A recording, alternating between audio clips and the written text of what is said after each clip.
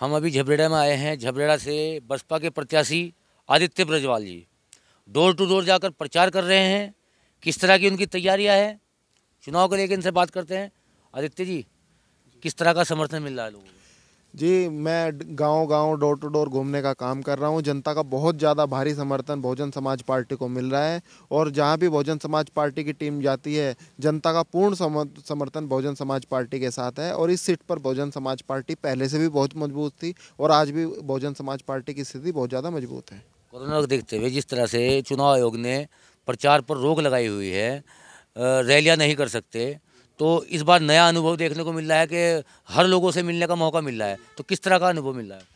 जी बहुत अच्छा अनुभव है लेकिन बहुजन समाज पार्टी पहले से ही ज़मीनी स्तर पर कार्य करती रही है। बहुजन समाज पार्टी के साथ पहले से ही कार्यकर्ता जुड़े हुए हैं और इस बार भी बहुजन समाज पार्टी गांव-गांव जाकर डोर टू डोर जाकर प्रचार करने का काम कर रही है। जिस प्रकार से चुनाव आयोग ने कोरोना महामारी के कारण जो भी गाइडलाइन दी है उनको उन गाइडलाइन को फॉलो करते हुए प्रचार कर रहे हैं और बहुत अच्छा जन समर्थन बहुजन समाज पार्टी को मिल रहा है।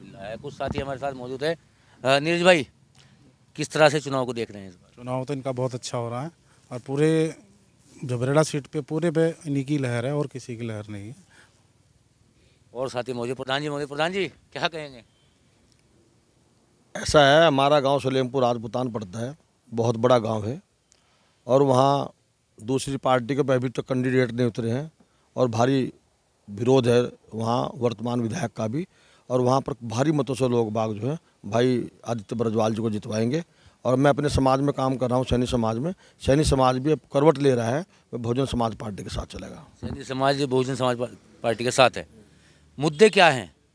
मुद्दे विकास के मुद्दे हैं। विधायक जो हैं देशराज करने क्या उन्होंने विकास नहीं करवाया? नहीं आप देख लीजिए कृष्णा नगर में जाकर गली नंबर बीस में जा के देख लीजिए आप। क्या हाल है? बीस में इक्कीस बाईस तेईस चौबीस पच्चीस तक कितना बुरा हाल है पानी की निकासी नहीं है।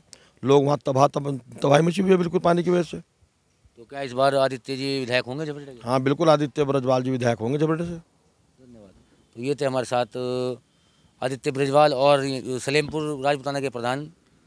जिनका साफ़ तौर से कहना है कि देशराज कर्णवाल जो विधायक है यहाँ से उन्होंने कोई विकास नहीं करवाया और इस बार जनता जो है बहुजन समाज पार्टी का विधायक बनाने जा रही है। अपने सहयोगी विनोद चौधरी के साथ मैं Mohammad Azeem news world India Haridwar.